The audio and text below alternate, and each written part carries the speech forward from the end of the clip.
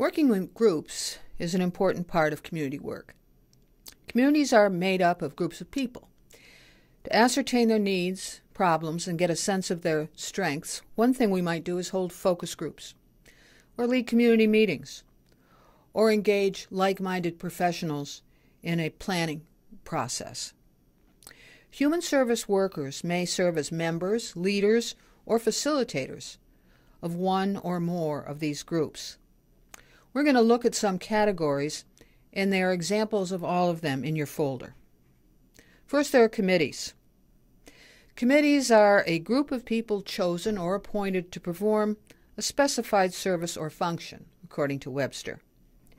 Committees can be set up for short periods of time to address an immediate issue or can be standing committees that are ongoing.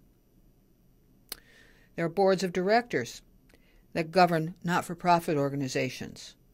Be sure to review and think about their responsibilities.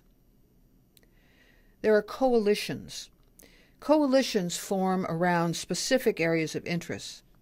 Unlike task forces, which we'll talk about next, they tend to work together over time. Task forces and work groups, again, are groups of people put together, usually time limited, to work on specific issues. A team is a number of people working together with unique but often complementary roles.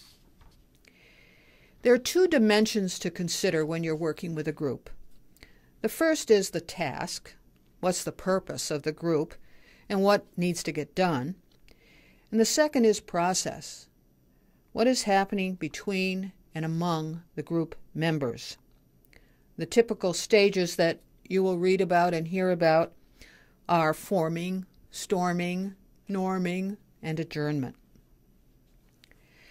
As human service workers, you will spend a great deal of time in meetings another form of a group.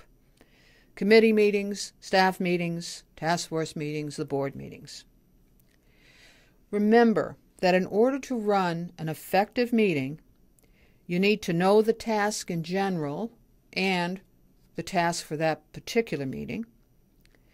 You need to understand the stage the group is in and what the dynamics are, and effective ways to manage the group. You, you need to be able to provide information to the group that they need to do their work. You always need to be able to prepare a good agenda and manage time.